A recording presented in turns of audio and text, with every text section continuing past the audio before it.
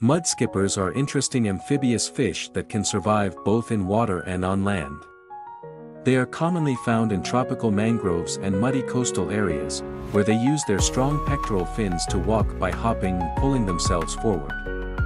Unlike most fish, mudskippers can breathe through their skin and the lining of their mouth and throat, allowing them to stay out of water for extended periods as long as they remain moist.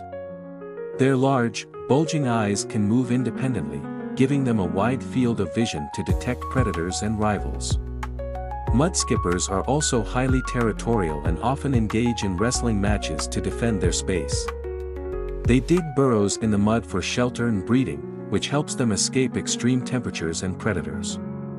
Some species are even capable of jumping up to 2 feet in the air.